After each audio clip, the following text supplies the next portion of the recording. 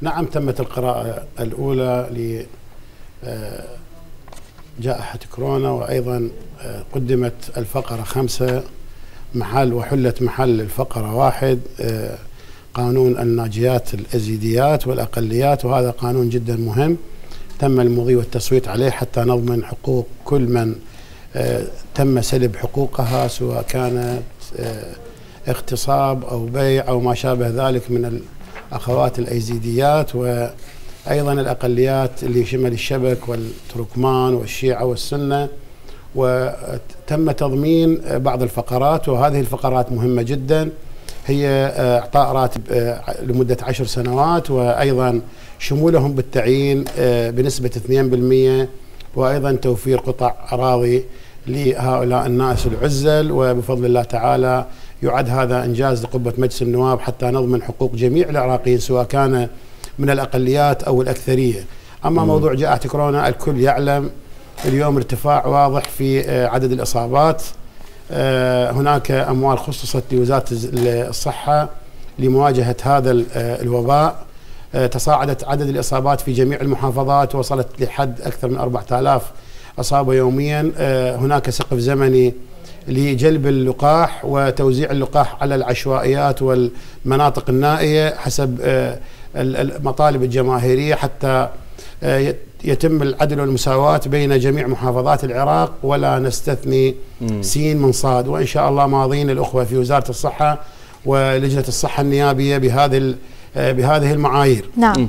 طيب يعني هو آه، قانون جائحة كورونا. طبعا كما ذكرت بأنه من الضروري أن آه، يقر هذا القانون. أولا ما هو سقف زمني لإقراره؟ هل سيقر في القريب العاجل؟ ثانيا بنود هذا القانون. هل هي فقط حفظ حقوق الشركات المصدرة للقاح وعدم مساءلتها قانونيا أم هنالك بنود أخرى؟ للتوضيح هناك خلية أزمة شكلت برئاسة السيد النائب الأول الأستاذ حسن الكعبي في بداية آه،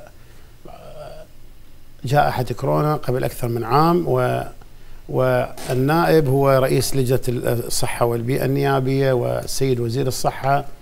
آه، هناك معايير وضعت من قبل الجهات المختصة آه، من رئاسة لجنة الصحة والبيئة النيابية وأيضا وزارة الصحة ورئيس آه، خلية الأزمة السيد حسن الكعبي في بخصوص آه، هذا الموضوع سواء كان الشركات أو اللقاح أو ما شابه ذلك.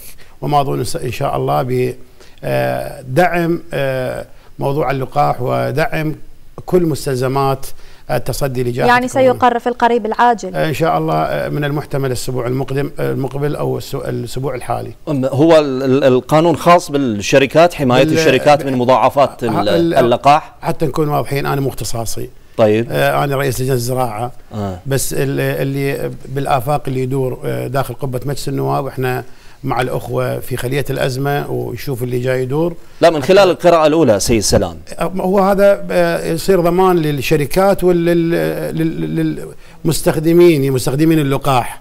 حتى نضمن عدم آه، مضرة اللقاح وأيضا آه، سلامة الشركات المنتجة أو المجهزة. طيب إذا نمر بالحديث عن الموازنة وكما أسلفنا كان الحديث يجري عن قراءة أولى لقانون جائحة كورونا وأيضا التصويت على قانون الناجيات الإيزيديات لكن الموازنة سحبتنا للحديث عن هذا الموضوع. لربما تابعت معنا في آه، آه، نقل مباشر من داخل مجلس النواب مع مراسلنا أحمد عرام. لا زالت العقدة كما هي عقدة حصة الإقليم.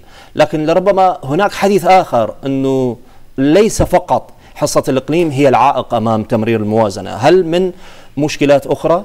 أخي العزيز الحكومة أرسلت الموازنة ب 164 تريليون دينار عراقي يعني ما يقارب ال 130 مليار دولار وهذا المبلغ مبلغ آه، يعني مبالغ به جدا آه، لدى الأخوة في اللجنة المالية ورؤساء اللجان وأيضا آه، رئاسة المجلس أن تضغط النفقات الحاكمة حتى تصل ل 100 أو 110 مليار دينار عراق أو تريليون آه، دينار عراقي حتى لا نكبل الأجيال المستقبلية اليوم. هناك اقتراض داخلي وخارجي لحد هذه اللحظة لم يحسم. في العام السابق تم آه، توقيف الاقتراض عام 2018 تم توقيف الاقتراض آه، الخارجي والاكتفاء بالاقتراض الداخلي حتى لا نكبل الأجيال الأجيال المستقبلية. عبء هذا الاقتراض هناك فوائد كبيرة على هذا الاقتراض. اليوم هناك ورقة ورقة إصلاح نعم نسمع بورقة الإصلاح لكن لحد هذه اللحظة لم لم تفعل ولم تعظم الموارد على أرض الواقع. يعني اليوم آه، ضمان حقوق المزارعين بعد اللتا واللتية والمفاوضات مع الأخوة في اللجنة المالية تم تضمين آه، حقوق المزارعين عن نفقات الحاكمة ومن أهمها والكل يعلم العراق وصل للاكتفاء الذاتي للمحاصيل الاستراتيجية ومن أهمها محصولي الحنطة والشعير بعدما كان العراق مستوردا لا مصدرا لمحصول الحنطة يستورد أكثر من 5 مليون طن. بفضل الله تعالى والضغط ودعم القطاع القطاع الزراعي وصلنا لإيراد أكثر من 5 مليون طن. طيب. وهو ما يحتاجه العراق اليوم. كانت في السابق الفائض من الموازنة يعطى للفلاح. نعم. ونلاحظ هناك مستحقات المزارعين من عام 2014 و15 و16 في المحافظات الغربية.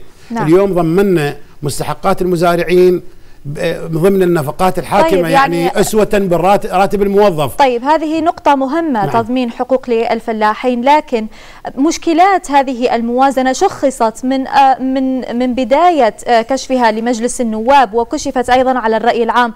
ومن كلامك تقول بأن حتى الآن لم تحسم الكثير من النقاط وأهمها الاقتراض الداخلي والخارجي. هل معنى ذلك بأنها ستمرر بدون تصليحات بهذا بهذه الأهمية؟ لا الأخوة في اللجنة المالية قبل له بلاء حسن وأيضا رؤساء اللجان كل من حسب لجنته. يعني اليوم آه، اللجنة الزراعية ولجنة الخدمات وكل اللجان عاملة كخليه نحل حتى تضمن الفقرات التي تمضي وتفعل الوزارات المعنية.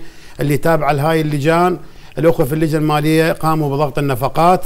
وخير دليل آه، الحكومة طلبت من مجلس النواب اقتراض داخلي وخارجي أكثر من 45 آه، تريليون دينار.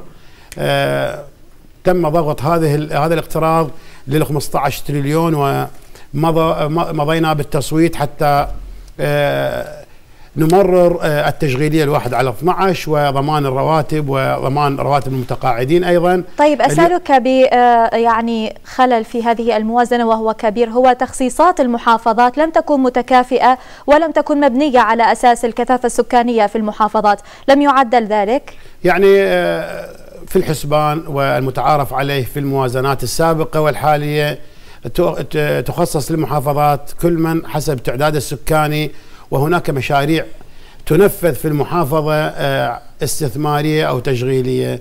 آه، وفيها نسبة إنجاز تتجاوز ال 50% يعتبرون هذه المشاريع مستمرة وتخصص أموال لهذه المشاريع حتى تمضي المشاريع ونضمن عدم اندثار هذه المشاريع طيب. وتخدم المحافظة التي آه، أنشئ فيها مشاريع آه، تجاوز ال 50% حتى لا نرجع لنقطة الصفر.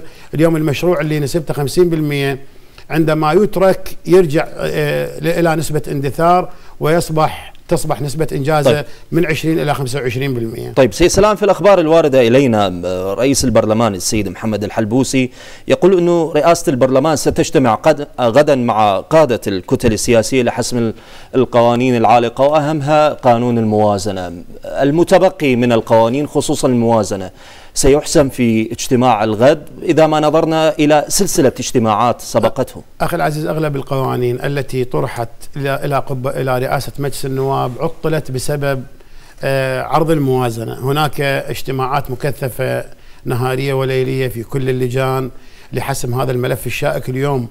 آه، إذ لم تمرر الموازنة لا توجد هناك حسابات ختامية وهذا مؤشر جدا خطير. على الأخوة رؤساء الكتل والكل يسعى لتمرير الموازنة لتمرير متطلبات آه، الموظف وتمرير متطلبات المواطن العراقي البسيطة.